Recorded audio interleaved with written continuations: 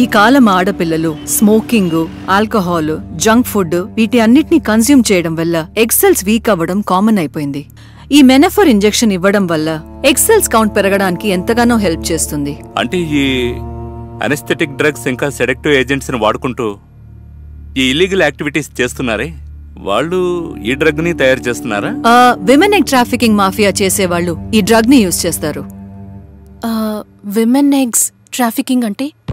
మగవాళ్ళకి sperms week అయినప్పుడు వాటిని హెల్తీ స్పర్మ్స్తో ఎలా కల్చర్ చేస్తారో అలాగే ఆడవాళ్ళలో ఎక్సెల్స్ వీక్ అయినప్పుడు వేరొకరి నుంచి ఎక్సెల్స్ కలెక్ట్ చేసి వాటిని ల్యాబ్లో స్పర్మ్తో కల్చర్ చేస్తారు. రీసెంట్ స్టాటిస్టిక్స్ ప్రకారం Australia fifty three percent USA sixty one percent Spain sixty three percent మన ఇండియాలో thirty to thirty five percent ఎక్సెల్స్కి అవసరం ఉంది. ఈ డిమాండ్ వల్లే ఎక్సెల్స్ ట్రాఫికింగ్ మొదలైంది. నేను స్టడీ చేసిన దాని ప్రకారం two thousand four two thousand ఫైవ్లో బ్రిటన్ విమెన్ పిల్లలు లేరని యూరోపియన్ కంట్రీస్ ఇంకా మిడిల్ ఈస్ట్ కంట్రీస్కి వెళ్ళి ఈ ఎక్సెల్స్ని కొనుక్కొని పిల్లల్ని కనేవారు. ఈ కంట్రీస్ కూడా ఫర్టిలిటీ టూరిజం కంట్రీస్గానే ఫేమస్ అయ్యాయి.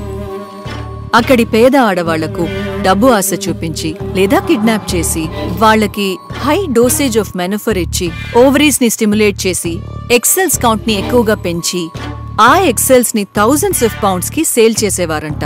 డాక్టర్ ఇండియాలో కూడా ఇలాంటి ఇల్లీగల్ యాక్టివిటీస్ ఉన్నాయంటారా? నేనిందాక అన్నట్టు మన దేశంలో ఉందో లేదో నేను కన్ఫర్మ్గా చెప్పలేను. బట్ మన ఇండియన్ ఎక్సెల్స్కి మన దేశంలోనూ ఫారిన్ కంట్రీస్లోనూ మంచి డిమాండ్ ఉంది ఓహో. ఒకే ఒక ఎక్సెల్ని అమ్మడం ద్వారా లాక్స్ ఆఫ్ రూపీస్ వస్తుందంటే ఖచ్చితంగా ఇక్కడ కూడా మాఫియాగా కన్వర్ట్ అయ్యే ఛాన్సెస్ ఎక్కువ ఉన్నాయి అదే కనుక జరిగితే it's very dangerous for women's life doctor ఇన్ఫర్మేషన్కి చాలా థ్యాంక్స్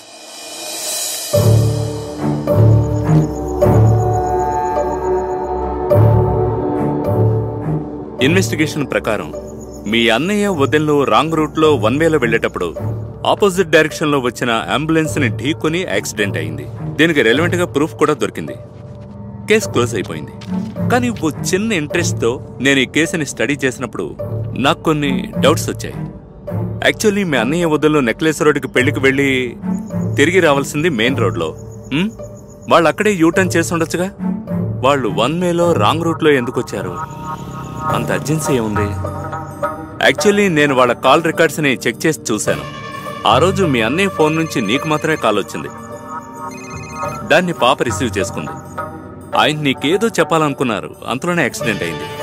ఇంకో విషయం పోస్ట్ మార్టం రిపోర్ట్ ఏం చెప్తోందంటే అదొక నార్మల్ యాక్సిడెంట్ ఇంకా నార్మల్ డెత్ అని.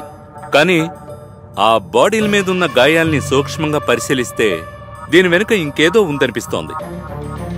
అందుకే మనకి క్లారిటీ రావడం లేదు. బట్ మీ అన్నయ్య షర్ట్ మీద ఉన్న ఆ స్టిక్కర్ మనకు దొరికిన ఆధారం అనిపిస్తోంది. ఆ స్టిక్కర్ మీ అన్నయ్య షర్ట్ మీదకి ఎలా వచ్చింది? లేదా ఆ డాక్టర్ చెప్పినట్టు ఆ ఎక్సెల్స్ మాఫియాకి దీనికి ఏదైనా సంబంధం ఉందా? లేదా మీ పాప మిస్ అయినందుకు దీనికి ఏదైనా సంబంధం ఉందా? మనకు దొరికిన ఈ చిన్న ప్రూఫ్ను పట్టుకుని ట్రై చేస్తే ఏదో ఒక లీడ్ దొరకచ్చు. ఏంటి సార్ ఇది? ఎవరు సార్ వీళ్ళంతా? దొరికిన ఈ ఒక్క క్లూ నన్ను నా పాప దగ్గరికి తీసుకెళ్తుందనుకుంటే అనుకుంటే చనిపోయిన మా అన్న వదిలిన దగ్గరికి తీసుకువెళ్తోంది. ఇప్పుడు వాళ్ళు చనిపోయినందుకు కారణం వెతకనా? లేదా నన్నే నమ్ముకునున్న నా వరుణ్ వెతకనా? నాకేమీ అర్థం కావట్లేదు సార్. భరత్ నీ గురి రెండింటి మీద ఉన్నా నువ్వు విసిరేది ఒక్కటే రాయి. ఒక రాయి విసిరితే రెండింటికి సమాధానం దొరుకుతుంది. డోంట్ వరీ నీ వెనక నేనున్నాను. వదలను సార్. ఎవ్వరినీ వదలను. వాళ్ళు కెలికింది కర్ణుణ్ణి కాదు కుంభకర్ణుణ్ణి. ఈ జెంటిల్మెన్లో ఉన్న కుంభకర్ణుడు ఏం చేస్తాడో చూపిస్తాను సార్.